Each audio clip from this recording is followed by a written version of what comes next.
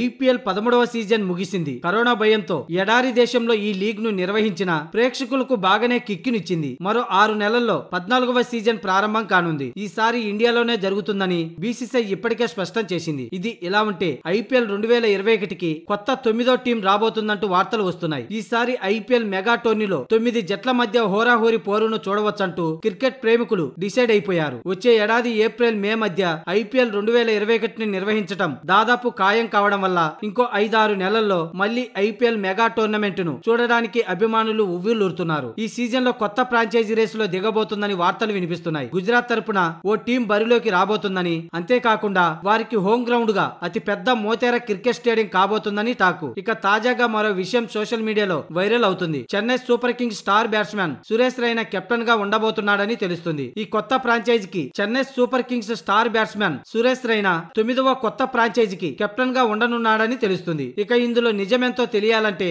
కొద్ది రోజులు ఆగాల్సిందే